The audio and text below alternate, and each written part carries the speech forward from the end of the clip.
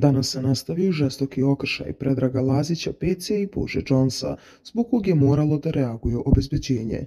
Peca je krenuo na Božu i njih dvoje su se pogurali, a obezbeđenje ih je iste sekunde razdvojilo. Obojica su nakon okršaja potrčali ka Kristijanu Goluboviću, međutim on nije imao strpljenja za njih. Oni su nakon propalog pokušaja da ih Golubović odbrani nastavili da se svađaju. Ti si gotov, za ovo guranje si gotov, rekao je Boža. Da sam te udario, slomio bih ti glavu, dodao je Peca. Za ovo ide tužba, dodao je Boža. Produkcija farme je odmah reagovala i poslala hitno pismo koje je pročitao Kristijan Golubović. Naime, Peca je dobio posljednju opomenu zbog agresivnog ponašanja.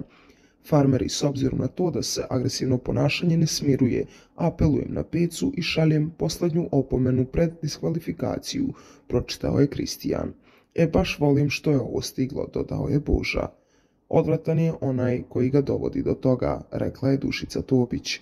Produkcijo, dođite da me izvedete odmah pošto sam agresivan, pošto mi diraju majku, nemam šta drugo. Zar sam ja to zaslužio, hvala vam, rekao je Peca. Nikola Lakić krenuo je sa jakim riječima, a Peca je nastavio. Nikada nisam nikoga udario, ali sada hoću. Hvala vam što samo mene među svim ovim prepoznajete kao takvog. Tramio je Peca, a sljedeće sezone imaš da moliš da uđeš u reality. Ne poštuješ niti ovu ženu, niti ovu kuću, smatra Lakić.